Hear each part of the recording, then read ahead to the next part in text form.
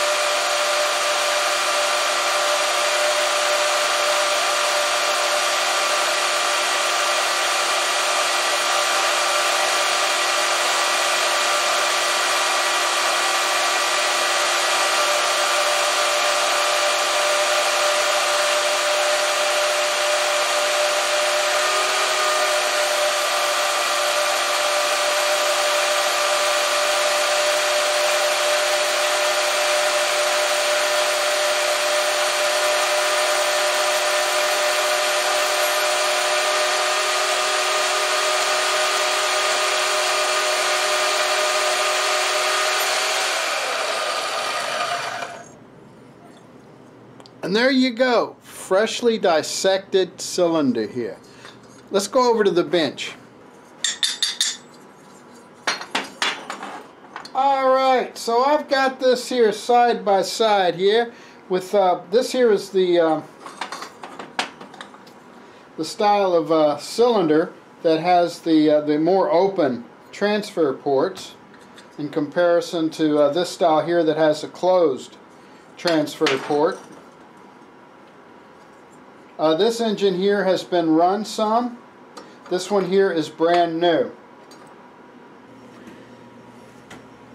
Now these here are the intake ports and they go down lower than the exhaust ports and the location of all of these ports here with respect to what they call top dead center are very critical and uh, and anybody who's doing any uh, serious modification on these little engines here uh, you got to keep that in mind. But uh, right off the bat between the two um, the newer style here that has the more open transfer port you can see the intake is a little bit bigger here in comparison to uh, the older style here. And the exhaust is a little bit different here too. It's a little bit bigger and then it, it, has got a little bit different uh, little difference in the shape and the way it goes out and I, I'm sure that has something to do with uh, the tuning and the overall performance of the engine. But uh, we're going to take a good look at them here and see what we can see and uh, I'm going to use this as a teaching aid uh, hopefully, uh, and, and, as well a discovery aid for myself too, so we can learn a little bit more about these and how they work. Because if you're going to keep a, a two-stroke going, you have to know something about them. And hey, if you're going to modify them a little bit, you need to know what's going on. So uh, if you think this video is going to help anyone out, give me a thumbs up. You know, hey, there's that subscribe button down there somewhere, notifications. More to come. Thanks for watching.